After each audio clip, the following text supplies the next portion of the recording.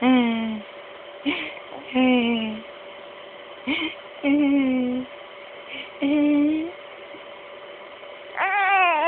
É. É, minha mãe.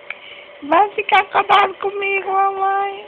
Eu não quero menino, não. Não quero, mamazinha. Ah. É.